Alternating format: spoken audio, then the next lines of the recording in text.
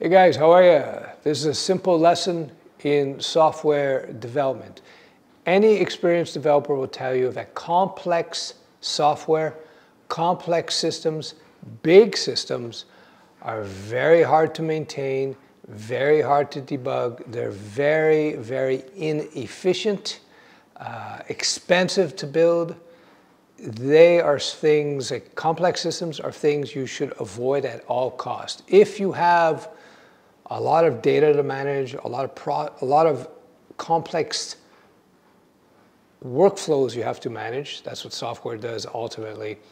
What you should have is a few smaller, easy, easier to build, easy, easier to understand systems that communicate with each other in a common language. So in modern day development, that common means of communication are, of course, JSON objects. In the old days, we used to use a lot of XML. Now XML is more or less used to configure app servers, especially in the Java space. But for interop communication, you want to use JSON objects. You want to make sure that your different applications are relatively fine-grained in their architecture so that they're easier to maintain, easier to build. When you have layers and layers of complexity in a single piece of software, it becomes a nightmare to maintain, a, might, night, a, might, a nightmare to build. They become very inefficient. It's extremely problematic. This is one of those universal principles that are applicable in all aspects of life. So I first learned this, believe it or not, back when I used to import rare fish from all over the world. And so we used to have a set of tanks, uh, of like a whole bunch of tanks interconnected through plumbing. And then we'd have centralized filtration systems. And we would build small uh, systems with six tanks, bigger systems with 20 tanks.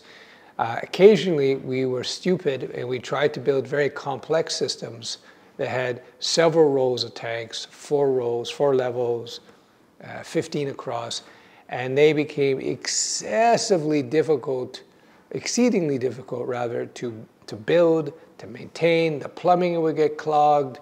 We'd have difficulty maintaining a consistent pressure throughout the plumbing. Terrible. One of the oldest rules in engineering is KISS, keep it simple, stupid. So I learned from my experience building central filtration systems for the fish business that uh, when you build software, you better keep your software, again, simple, have better to have smaller systems that communicate with, with each other with a common uh, language. These uh, is JSON. Now JSON is not a language. JSON, JSON is short for JavaScript Object Notation. It is written in JavaScript. It's just a very simple, lightweight, lightweight way to communicate, to move information from system A to B to C and so on. So, in passing, by the way, one of the problems that we have in the West? It's something that, that uh, Elon Musk pointed out. When you have new bureaucracies, new bureaucracies that come in every so often, every five years. You got a new government comes in, and what do they do? They create new new laws, new rules, new laws, new laws, new regulations, and eventually, society gets so weighted down by the number of regulations and laws, it's almost impossible to get anything done. You got to get five permits if you want to uh, paint your wall white at some point it's bad. So what you have, to, what the governments have to do, we have to realize as a population, in uh, maturing, uh, uh, in maturing societies in the West, Europe, North America, so on, we have to go in there with a scalpel. We have to start simplifying and breaking up these huge bureaucracies because it's they're very expensive to maintain. They're not efficient. They're rife with corruption. and software, corruption is just bad code. In, in uh, big business and government, something else. So, yeah, just one of those universal principles. Small systems, efficient systems that communicate with a common language will be far more productive, far easier to maintain, and everybody will be better off. So when you're designing your architectures, when you're writing your code, strive to keep the code simple. Strive to make it uh, simple as possible, easy to understand.